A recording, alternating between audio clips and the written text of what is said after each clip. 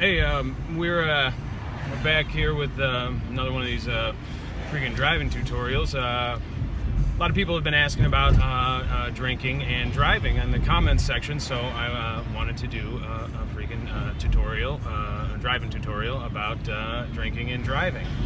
So we all know that freaking drinking alcohol and driving around isn't a good idea, but also it can be dangerous to drink any sort of uh, beverage, even uh, water, uh, because and uh, it is uh, it's it's difficult to open and uh,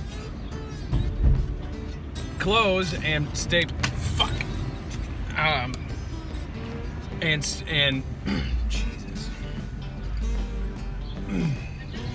Stay tuned for more tutorials, driving tutorials uh, soon.